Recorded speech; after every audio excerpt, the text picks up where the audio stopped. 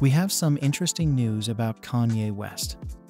He has made some demands to his ex wife, Kim Kardashian, about how she is raising their children.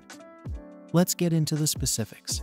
The Yeezy mogul urged the founder of Skims, with whom they co-parent their four children, to take their kids out of the Sierra Canyon School in Los Angeles, California, on social media on Wednesday night. Kanye posted on Instagram in all caps, Kim, take my kids out of Sierra Canyon now. It's a fake school for celebrities that are used by the system. At this point, everybody knows what the system is code word for.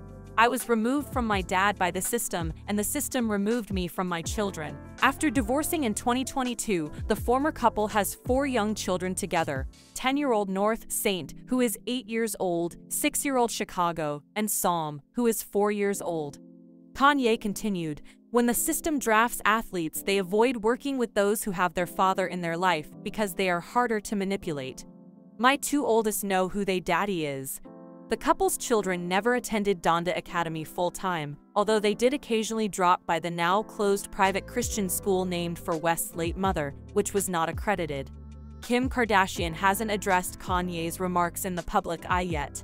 Kanye West received harsh criticism from a large number of his more than 20 million followers in the post-comment section for revealing his children's school to the public.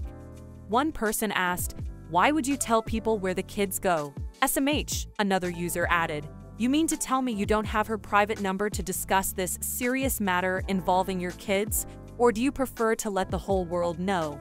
Tell us your thoughts on how Kanye dealt with their kids' situation in the comments. Don't forget to like and share the video. Subscribe for more updates on what's happening with your favorite stars.